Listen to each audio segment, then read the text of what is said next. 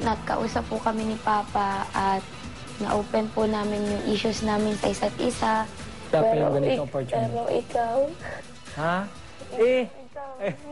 ay, ay, kahit kailan, Ala, ina, na, inaano lang naman kita. Siyempre tayo-tayo lang, nag-aalaskahan tayo, di ba? Oh. So, sorry kung ganun, hindi ko alam na dinadamdam mo pala yun. Araw-araw magkakasama tayo sa bahay, di ba? Three weeks pong mawawala si Mentor Glock at nandito man po siya o wala. Ang pinaka-importante po sa lahat ay yung puso ko po sa ginagawa ko at focus lang po, wag pong, wag pong magpapapressure sa mga bagay na nasa paligid.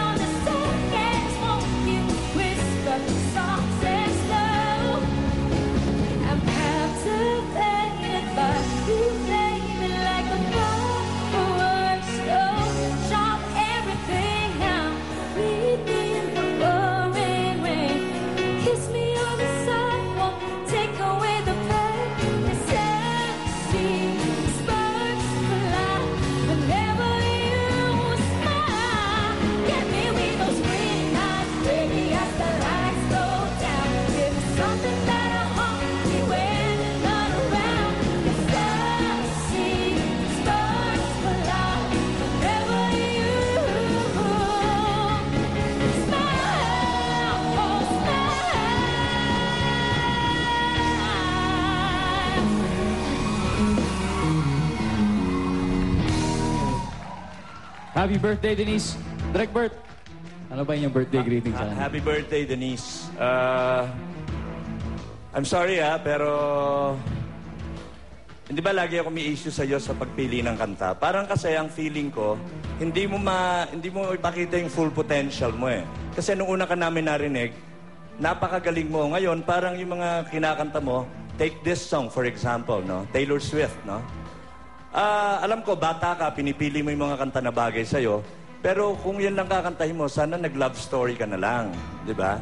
Kasi ang issue ko lang, madadali yung mga kanta mo, pero hindi mo pa rin maibigay ng maganda. Pareho ngayon, may mga flat, may mga, may mga weak points ka nung pagka hindi ka full voice, kailangan medyo aspirated ng konti, parang mahina eh.